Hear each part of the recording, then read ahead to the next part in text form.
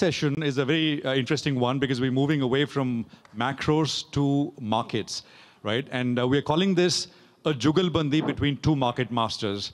Uh, and they are really market masters in the true sense of the word because between them, they've got some, uh, I think, at least 80 years of market experience. They've seen the highs, the lows, they've seen crises, they've seen booms, busts, uh, really experienced it all. I'm talking about uh, Raamdeo Agrawalji and Manish Chokhani, who are our next panelists. And this Jugalbandi is between them, no pesky anchors in between. Uh, you know, Ramdevji, really, I mean, actually, both of them need no uh, introduction, uh, but I'll just say a few words. I think uh, Ramdevji is someone who is a passionate, passionate investor. Uh, he is, he's got a childlike enthusiasm for ideas. I mean, I remember the first time that I met him, uh, you know, I came back with a list. And it was not a list which was basically made up of uh, stocks or themes or anything. It was a reading list. Uh, so I consider Ramdevji first and foremost a teacher, a mentor. Uh, and his message uh, to me and I think others over the years has been read, read, read, read every day, and uh, you know uh, you have a hope to succeed. So uh, Ramdevji, thank you very much for your wisdom all these years. Uh, really appreciate it. Manish Chokhani uh, needs no introduction either. He's one of the most astute market investors that we have amidst us. Uh, his grasp on macros and markets and distilling the macros to the micros uh, is, I think, unparalleled. Uh, he simplifies complex ideas guided by first principles, and I think that is where he really excels. Uh, so, without further ado, let me uh, request both Ramdevji and Manish to take the stage and, uh, dare I say, entertain us with his Jugalbandi. Over to you guys.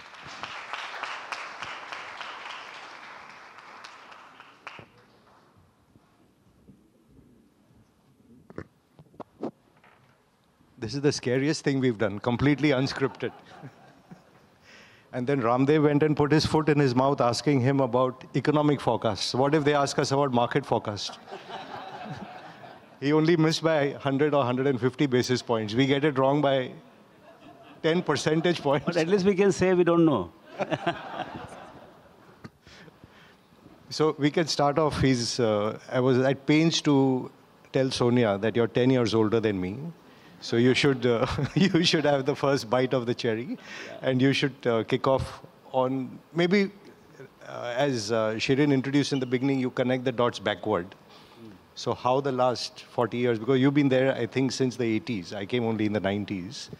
So maybe, no, no, I, I, I say it with, uh, not, not in jest, but because he saw the, the kind of 10x of the index in the first decade, and then the mania of Harshad Mehta and how that played out. And we may well be setting up for that. So I think we are both in sort of that camp. Uh, maybe I'll leave it with you. So actually, uh, uh, it's a terrific time to remember 1992. Uh, I mean, I have seen firsthand, actually, ni- 85 was the first boom, which was uh, VP Singh and uh, Rajiv Gandhi combined. And uh, that was a kind of mini boom. Just stock market just doubled in one year. So that was a small. And uh, then came the 1990-92 boom. I think it is his, He, he just said the market doubled in one year, just in passing. But just listen to the second one. When the index went 6x from 700 to 4200 Sensex in 19 months flat, that gave birth to Ramdev and Moti and into Motilal Oswal. So uh, I started with zero money. I was zero, literally zero negative rather, and we made 30 crores in 19 months. And that became the seed capital for Motilal Oswal. So, yeah. Then came the next bull run was the Y2K bull run. Then came the GFC, the uh, commodity bull run, rise of China. It was actually rise of China, commodities and everything. And then we had little lull and then pre-COVID. So uh, I, my sense is what I've seen in 1992, this is 10x of 1992. We are into seriously very large bull run. The issue is this time there is a SEBI. There is an, there is an RBI with a complete digital system. They actually can see what Badmashi we are doing. So uh, the, with the police, the crowd will be a little limited, uh, little disciplined.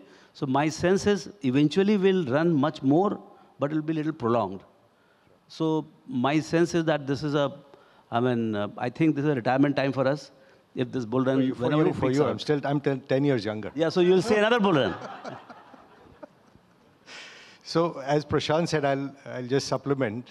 As he said, it's useful sometimes to give context in which this is happening.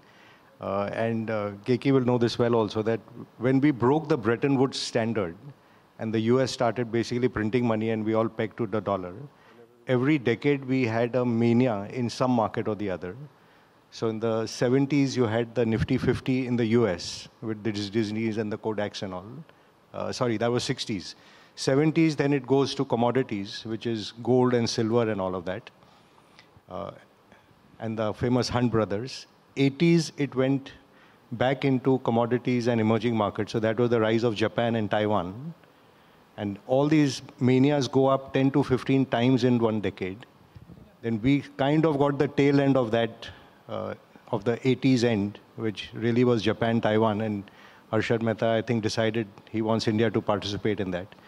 And the 90s, of course, went back to tech and US and the NASDAQ. And then the 2000 to 2010 period came back to commodities and emerging markets in which India, China all benefited, and that was the rise of our great bull run as well of the 2000s. The last decade, again, we saw 2010 to 2020 going back to financials, technology, the FANG mania. And that's why the supposition for most investors in the world is, again, this decade comes back to commodities and India. Uh, and to Samiran's point about how do we play this game this time. And fortunately, RBI keeps coming and you know keeping the market cool from the debt side, and SEBI is doing a great job getting the froth down. Because what you don't want is all the returns to be front-ended.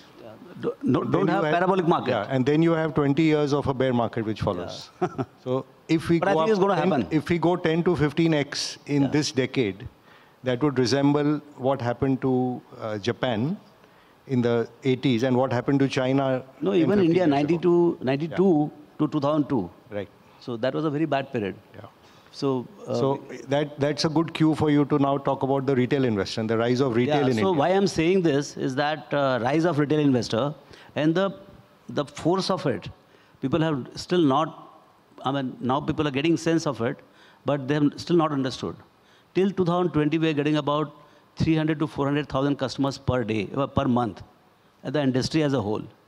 Come COVID, uh, digital onboarding starts. No uh, physical checkup for onboarding. In five five minutes, you start your trading and all, and we start getting four to five million customers per month. Four to five million customers per month. From 40 million demat accounts, now we have clocked 150 million. And I think in, this is three years story. And when you imagine 5 million customers a month, and these customers are cumulative in character. They're not flow, they are cumulative in character. And we are headed for maybe 300 million straight in three to four years. And maybe, I don't know what is the end game, maybe 10 years of 500 million. So this is a uh, amazing uh, stock market boom. Uh, stock market liquidity inflow into the market. Now, what it does is, of course, it lifts the all the stock prices, mid cap, small cap, large cap, anything goes. And last year, I think 20, 23, 24, the return for across the portfolio, at least in my AMC and what I invest in generally, uh, is about 50% across the portfolio. I'm saying, it's not. I'm not about one scheme or one stock. I'm talking about the entire portfolio, extremely diversified. Literally, I bought the market. So that is 50%. So you imagine the kind of bull run which is lying, underlying, despite all the restrictions by SEBI, regulators, and everything. So, and we have still done 150 million.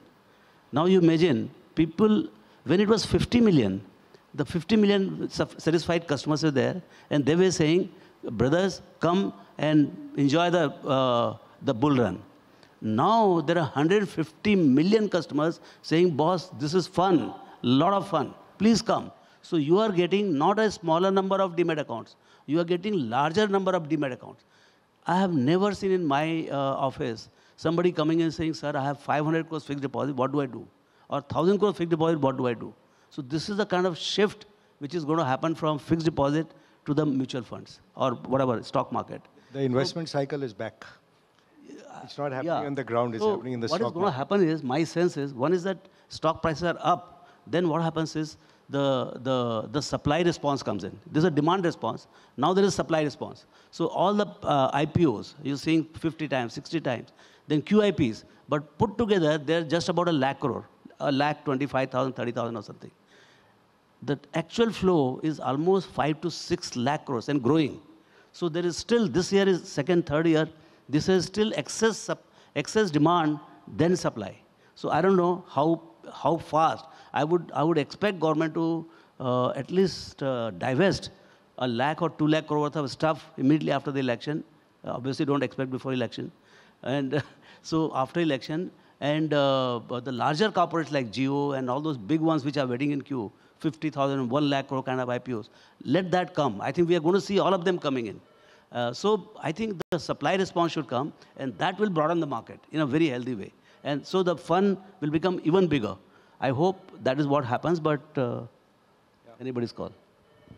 No, it's, it's again consistent with the phases of market which we see, where the profit cycle starts in one sector, then it spreads to another sector, then the P multiples expand, and then we start creating new stories and paradigms. Like 15 years ago, it was BRICS will be the new engine of the world.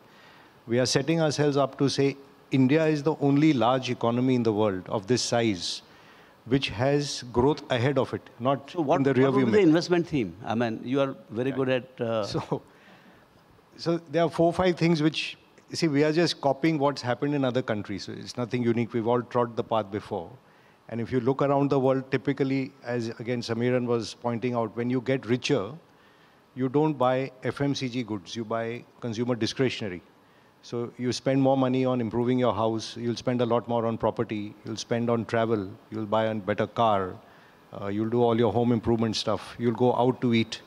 So consumer discretionary is one very, very, very big play. Housing, of course, so you start with that, but do you, do you think it will never trickle down? No, it will obviously because uh, each time when you build a home, there are you know Yeah. five people who are supplying and ten people who are servicing you, and India has this unique pyramid of that two percent Australians, eighteen percent Filipinos, uh, and then maybe a billion uh, people living in Africa, and it will trickle down. Uh, and if I then see the math, for example, 20 years ago we were selling 1 million cars, same as China. We have barely crossed 4 million today. China is at 26 million cars. We sell something like 12 or 13 million air conditioners. China is at 220. So that's the scale of change which lies ahead of us in the next 10 years. So that's, of course, one. Uh, second is, as the government uh, privatizes effectively to the private sector, so you've seen uh, effectively uh, Reliance and Bharti have run the telecom infrastructure of India, and we couldn't have run the country in COVID if this wasn't there. Or Adani now runs the ports and the airports of India. Uh, Indigo, pretty much, Indigo and Tata will run the airlines of India. So all of these privatization beneficiaries will become very, very large. The profit size is very, very large over here. So that's item two. You and I may not participate because these are not traditionally high return businesses, but you're getting the likes of Blackstone and others to come in. They're taking over even the commercial properties and building REITs. So that's kind of item two. Item three, I know we all enjoy doing the Zomatos and all of the world with the internet-enabled businesses uh, can become very, very large in the country. And like, like you said, in your own field, uh, the rise of Zerodha or even Angel and even yourselves, with what happens with the rise of internet and making life so easy for people, it just explodes the business. Uh, and I think we've been beneficiaries of that in our life as well. That clearly is number three. But the biggest mega theme, and uh, I'm sure Keki and uh, Vaidya will talk about it, is financialization. We are a $4 trillion economy. We save 25%. There's a trillion dollars of saving every year. Of that, today, only half comes to financial assets. Half is still going to physically buying real estate or gold. So, first of all, that has to get financialized. Within that, the share of the banking system has to become much, much larger. And I'm, I'm not going to do this because I'm sure Vaidya and think will banking do it system will be larger. significantly larger. I give you, okay, let me give you one good stat. Uh, and although I know, uh, you know, you have a AMC and we both love the mutual fund business, but just for context, uh, HDFC uh, Bank today would be what, a $60 billion uh, net worth for a bank which is 20% of India's banking system. Uh, and let's say it'll be a 600 billion odd balance sheet size. If you are saying this country gets to 5 and 10 trillion, and let's say we only want 15% compounding, which is four times. So HDFC Bank needs to get to 240 billion dollar market cap. At a 240 billion dollar market cap, uh, uh, to 240 billion dollar net worth, it will be a two two and a half trillion dollar balance sheet, which is still very very tiny for a country of this size in the context of a 10 trillion dollar uh, you know economy. But do you think, yes, size will increase, but do you think the economics, will it be in their favor? Because they It will be because, like I said, A, you're taking share away from real estate and gold, then you'll take away share from public sector banks. What about uh, uh, actually bank deposits going to the stock And markets? so eh, I'm, I'm glad you asked. So let's again take the same math. The biggest mutual fund today, and I'm just rounding off, uh, I don't want my friend in SBI to be unhappy, but let's say HDFC mutual fund is a $10 billion market cap. And let's say you want to compound at 25%, so you get to a $100 billion market cap. At a $100 billion market cap, at some point he will sell at 4% of AUM, more or less, which is what the world average is. Today it's priced for perfection. To get to 100 billion, now you multiply that by 25x. So he needs to be $2.5 trillion AUM. It is impossible. Whatever you do, it's not going to happen. So mathematically, you will make a better return in the bank than in the mutual fund, while the business will do better in the mutual fund. It will compound faster, but you won't make a stock return in it. As an example. And I wish uh, Navneet well, I don't want him to come and beat me up, but both are friends. And I own both businesses today. But uh, like I told you in our last Diwali interaction, that you will be 10x in 10 years. But what, what we have seen in America. the amounts are minuscule. And, you know, Vaidya will, I mean, Vaidya is what? He's 30 odd thousand crore uh, net worth today. And he's, he's guided, so I can share it publicly. He's saying, I'll grow 25% for five years. So he'll be 3x in five years. At that point, also, he's uh, 90,000 crore uh, net worth. no, I'm not, I'm not doubting your it's, a, it's a drop in the ocean. Uh, what I'm saying is a shift, the pace at which people are shifting their bank deposits to stock market side. Yeah. If it I'm is, glad Nilesh just walked in. He missed all the mutual fund yeah, yeah. numbers. so what I'm saying is if by chance there is a 17, 18 lakh crore accretion on the bank deposit side. It's too And tiny. That's what I'm saying. It's a just trickle. listen to me. And just about 5, 6 lakh crores on the mutual fund side or entire stock market side. If that goes to next year, Sure. 10 lakhs to mutual fund or uh, capital markets and deposit accretion only is 18, 19 lakh crores. Sure. Then what happens to the cost of deposit? You see, it can be a circular argument. We can argue it won't happen and therefore the cost will go up. I'm, I'm just giving you the aggregate numbers that banks, banks may be 80%, mutual funds may be 20. Over time, the mix will change. But the country is still compounding at a certain rate and you're still taking away share from real estate and gold. So it's not one is winning at the expense of the other.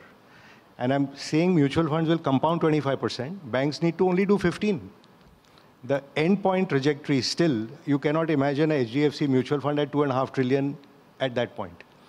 But you, you can imagine it for the bank. It's, it's, it's a done deal.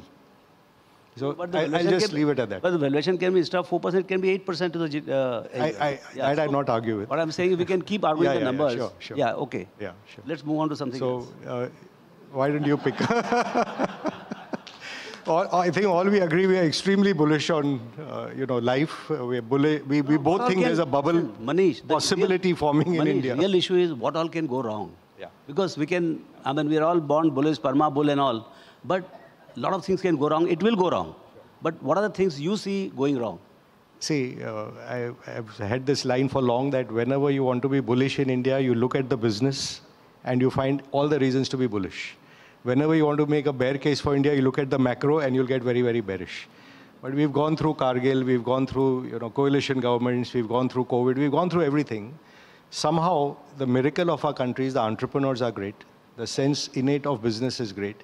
You may get a one or two year break or a six month break in, in your investment returns. But eventually, the power of profit and the compounding of profit is what has given us our returns.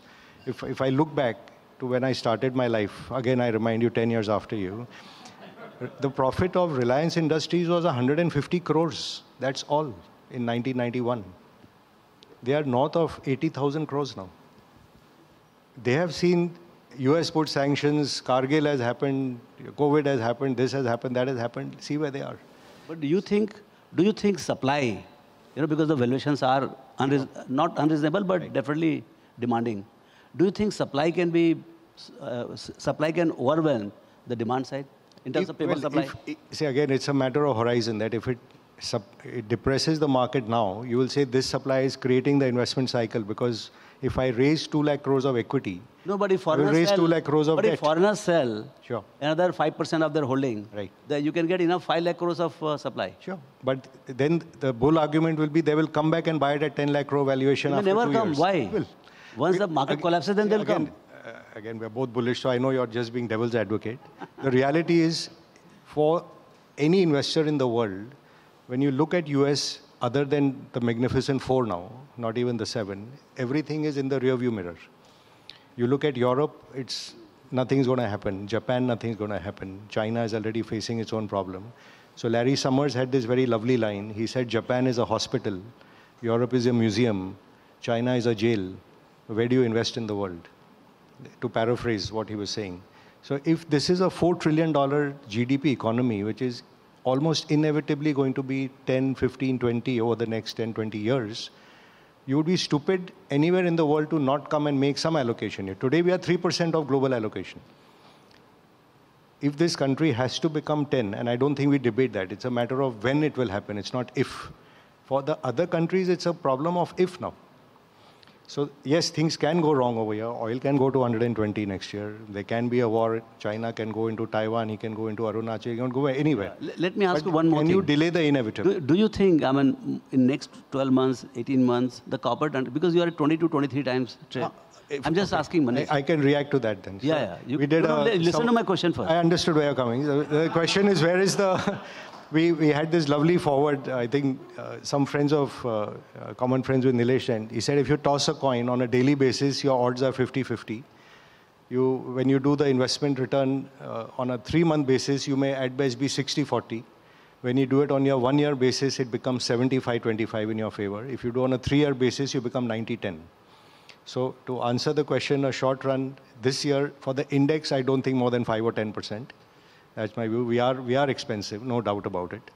But if you if we are indeed so bullish, we think it gets to five and ten trillion dollars over the next you know five and ten years respectively.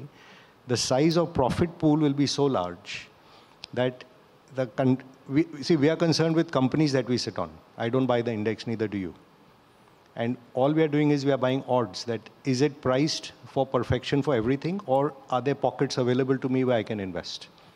And then for each person who says I can supply and depress the market, please remember my friend Manish is also here who's just raised another big private equity fund. He keeps bringing fabulous companies then to the market. Just as an example, you got, uh, I think, AU, Manyavar, all these fabulous companies to the market. Uh, you are part of that as well. Uh, so one side there is supply of old, and other side there is supply of new, and there's reason to be optimistic about it. That, that's all. I can't be a blind bull like our old friend Rakesh, that at all time 360 days we are bullish. It is tempered. The valuations are not cheap, no, no doubt about it. But if you take a longer term view, and when I look back, uh, you know, 30 years in my case, uh, we were 275 billion dollar GDP. We are at 4 trillion today. The size of profit pool of India was what? What was our foreign exchange reserves? Where are we today? Uh, so, I mean, whenever you are in doubt, like in global financial crisis, you wake up in the morning, slap yourself, think of the problem of a rich uncle in the world, but hold on to your portfolio. I know we are trying hard to find bearish things, but maybe we'll ask Samiran some any bearish reasons for. But uh, well, the reality, what he says, right, that when we are also optimistic, the prices are reflecting that. So uh, we are we are confident about the economy, we're confident about corporate sector, we're confident about our savers, but this price is representing a cheery consensus. That is also there. If something very bad, unexpected happens, it can cause a sharp sell-off, but I still think this becomes a buy the dip market rather than a sell the rallies. Yeah. Uh, Manish, Ramdev, uh, it was an excellent discussion. We really, uh, you know, enjoyed this. Jugalbandi, this is what we had planned for, right? Uh, very impromptu, everything for the audience to. I'll go to the audience and ask question, but before I go to the audience, I have a personal question to ask Manish. Uh, you spoke about, you know, India moving towards 10, uh, $10 billion economy. It's an inevitable. Uh, it's only a question of when. Uh, in this whole context, uh, where do you or Ramdevji look at the PSUs? Because, you know, that's where the whole uh, investment seems to be. A lot of retail investors are very heavily invested in the PSU stocks. Both can answer that question on the PSU investments. Yeah, I think uh, uh, this PSU category, I mean, categorizing the companies as PSU, non-PSUs, I think that, that thing will get blurred in the sense that now there is a company and a company. You, you decide on the basis of, uh, don't put a sticker as a PSU or non-PSU. And uh, there are bad PSUs, there are good PSUs. So if there are good PSUs are there, the capex companies, asset-light companies, defense companies, which are monopolistic in character, obviously, as the defense uh, Indianization happens big time, clearly they are going to be beneficial and it will, it will be loved by the market. But there are very bad PSUs also. So uh, just because it is PSU, it is not a good company. And just because it is PSU, it is not a bad company also. So I think going forward, I would look at it on a merits rather than PSU or non-PSU. Yeah. Manish, you have a view on PSUs? Yeah, are you carrying this live? Yes, we're carrying it live. Okay, then I won't say certain things. So, so well, I own SBI as an example. That I think it's inevitable in banking. HDFC, SBI, they will they will not compound at the fastest rate, but they have to be a core part of whatever you're holding. And seeing ICICI Bank and all these, they're they're just long, long runway to go over here. But to uh, a short point, what I was hesitant to say, I'll try and rephrase it better. That the the lack of the investment cycle in India is a lot to do with two things the insolvency and bankruptcy code and the end of telephone banking. Because a lot of projects which came earlier, the equity of the promoter came through the project itself. So project cost of one became one and a half miraculously. So that showed up in capex numbers, which suddenly has vanished. And two, people got phone calls to put up more capex, whether it was PSUs or through the PSU banks because that governance structure has got cleaned up, I think the market has caught on to it. So whether it is the banking sector, whether it is the individual uh, PSUs, uh, they always held dominant positions, but they were misused or they were not run for profit. And one thing which this government has done is not just come and run the administration better, but also ensure that the PSUs are run better uh, and they are accountable. In fact, uh, if there's a lesson which is to be taken from China, they have held now the PSUs there accountable for stock returns. So that's the next leg which should come here to give you the next leg of re-rating over there. Uh, so I'll, I'll pause at that. You remember my conversation, Ramesh and I used to always course, love course, uh, PSUs as well.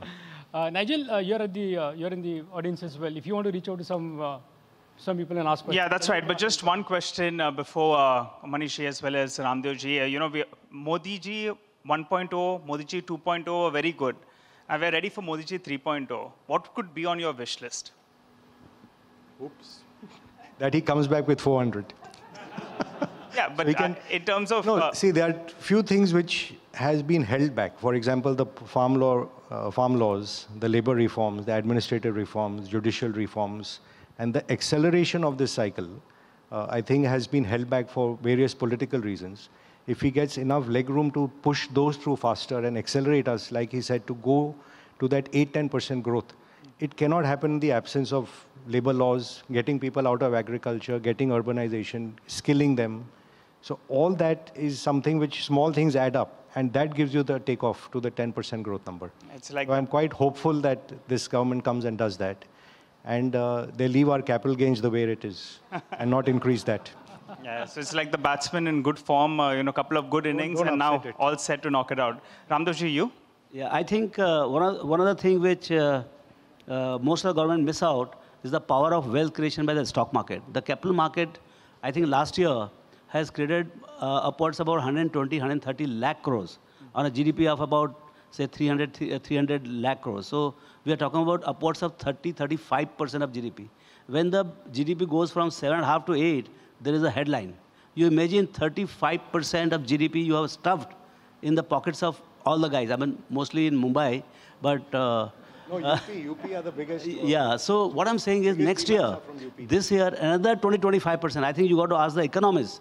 And they are, my sense is, one of the things they are missing out, uh, apart from this GVA calculation he gave me, I think, is, is the wealth effect. See, the indirect, uh, direct and indirect tax collection is way beyond their revised estimates. And that is coming from the, all the speculation which is happening in the market. People are paying, they are gaining in the market and they are going, they are paying the taxes. And those taxes are the ones which are, I think somewhere after two, three years, people will figure out that uh, there were three or four lakh crores more than what uh, government had budgeted. So I think the power of stock market, and I think that's a differentiator between India and China. And that's the difference between US and rest of the world. And that power should be harnessed very well. If you harness it well, we can be $10 trillion market economy in next four years or five years. And that power should be harnessed. If you don't harness it, it can destroy also. Okay, all right. I'm sure our audience as well are reaching to ask some questions. So, uh, anyone, yeah. Well, Nigel, uh, in fact, I have, an, uh, I have a guest with me who wants to ask a question. Go ahead. if you can introduce. And Yes. Hi, my name is Dhanjay Bagrodia. I work for Manish Bhai uh, at Enam, now with ASK. Uh, Manish Bhai and Raamdeo sir, uh, just a couple of questions. So now we've seen ghars, uh, like electrification from 50% of the households to 90%. We've seen Jal Se Nal from 50% below to 90%. So we've done the low-hanging fruits.